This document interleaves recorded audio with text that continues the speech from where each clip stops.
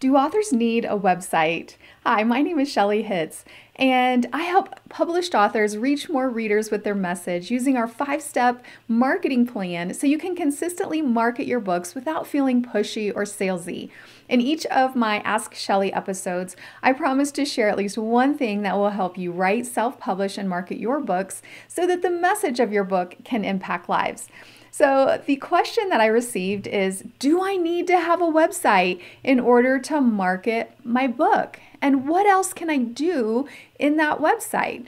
And so, this is a great question because I think there are a lot of misconceptions when it comes to book marketing. And there's a lot of people that will say, you have to do it this way, you have to have this, you have to do that. Wah, wah, wah. Like you have to have a platform, which means a website and social media and email list and oh, it can feel really heavy, especially, you know, most of you are doing this part time on the side. You have another job or life and all the things going on. And no, the short answer is no, you do not need a website. You can market your books without a website. You can start with a mini author platform, which I consider to be your Amazon author page, like a BookBub author page and a Goodreads author page. So those are just places for people to, to start to find you. And then you have some sort of email list. So we right now recommend MailerLite. It's free for up to a thousand subscribers. And for most of you, that'll be plenty for a while. And so you can get started for free. You can give away a compelling free gift. And MailerLite even gives you um, tools to create a free landing page. So you don't even need to have to embed that on your own website. So you can get started with all of that for free. You could even set up like a free Facebook page to have some information there if people are googling and they find you there.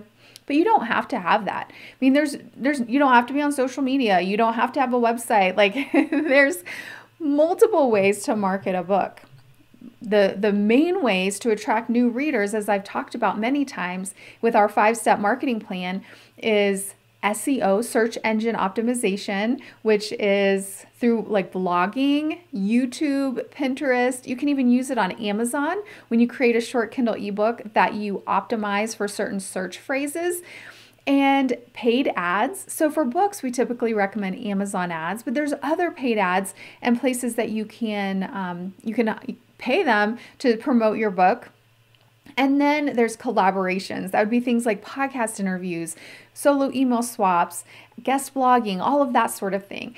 Um, speaking on stages or speaking at summits. But there are there's so many ways to market your book. So no, you do not need to have a website, but it is helpful to have at least a business card website. So I usually recommend maybe at least five pages. You know, you have your home landing page, you have a page all about your book and where to buy it, you have a page for your email list sign up, you have a contact me page. You know, there's just some basic pages, and we, we go through this in our platform module in Christian Book Academy um, of, you know, just setting up your website with those basic pages. And then if people are searching for you, they can find you and they, they have a way to contact you um, that way. You know, I've had people contact me asking me um, if they could use a quote from my book. And, you know, it just, all sorts of things if, if i want to speak at an event or you know just there's so many opportunities that can open for you but um, many times there's not a way for someone to get in touch with you so that business card website is something that you can set up and you don't have to keep adding new content. You know, a lot of times I think authors when you when you think of websites, you think of blogging, right? Like, oh, I've got to have a blog. I'm a writer. So all writers have blogs, right? Wrong. you can. I mean, a lot of times it's a perfect fit for a writer because you already love writing and typically. And so blogging is a great way. And then you can use search engine optimization, like I talked about earlier, and optimize your post so that people who are searching for you can find you. We have training on that um, specifically to help you optimize your blog for search engine optimization. And like, so when people are typing something into Google, you may come up in the search results. Um, we have um, those trainings for you in Christian Book Academy. So if you're not a member yet, join us at ChristianBookAcademy.com. But I just want you to take a deep breath. and like, no, you do not need to have a website But if you really want to have a career as a writer, if you if you want to um, publish multiple books and you want to have a way to really start to to you know be found whether someone's just searching for you and they can find your website and contact you or um, if you do want to blog you know a website it is it is a great it is a great thing to have. I'm not gonna lie. I do I do recommend it. And then you have your email subscriber list embedded on there because you asked, what else can I do with that website?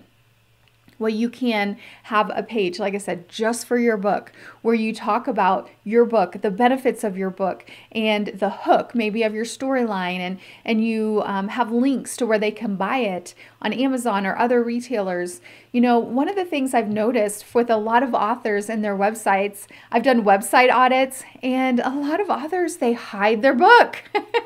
it's like, where do I find your book?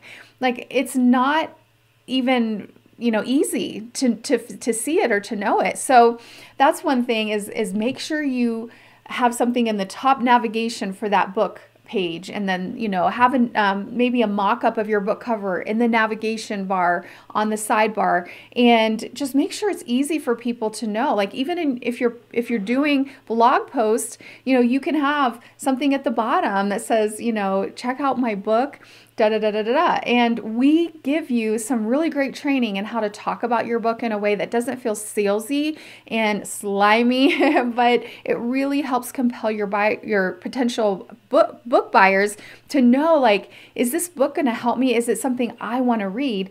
It's called copywriting, where you write to sell. So we have a training called Scrolling to Sold. It is an excellent training, teaches you the basics of copywriting, and then gives you templates you can use for talking about your book. All right, so I've talked about a lot of things. You can um, like I said, have your book page. You can have a place for people to sign up to your email list. And if you don't know anything about email lists or if you want to learn more, we have a Kingdom Writers Conference about that that you can sign up for free. You get free access for five days. If you're a Christian Book Academy member, you already have access to this in the conference replays module. So no need to sign up. But um, if you're not yet a Christian Book Academy member, you can get access to our email marketing edition at kingdomwritersconference.com forward slash email. And that really will help you to understand what email marketing is, like what all this stuff is. I, I give you a really step by step approach to that there's so much that goes into websites and thinking about that. But um, this is just to kind of get you started and thinking about what you want to do as a writer. Um, we would love to help you and even give you more personalized advice in our signature membership called Christian Book Academy. You can join us at christianbookacademy.com and we would love to see what um, how we can help you and you know get going in marketing your book and really deciding um, what to do regarding a website. All right i will talk to you next time. Bye bye